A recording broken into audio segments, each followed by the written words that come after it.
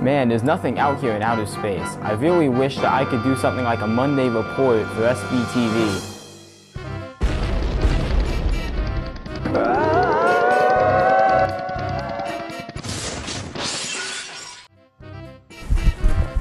I'm Augie Chappis, and this is your Monday Report.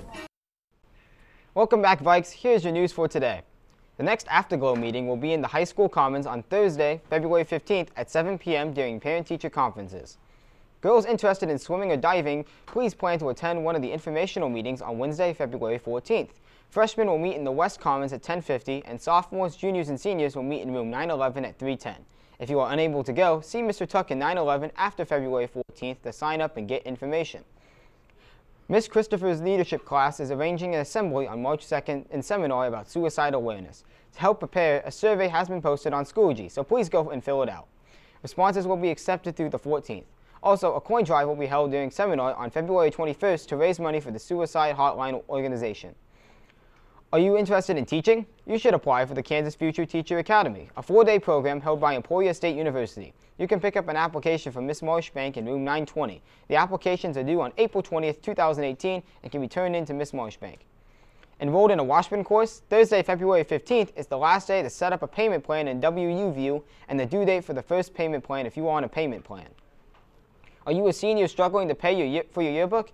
Hague Oil Company is offering financial aid scholarships based on financial needs, school participation, attendance, and discipline. Pick up an application from Ms. Steinman C2 or in the counselor's office. These are due February 14th.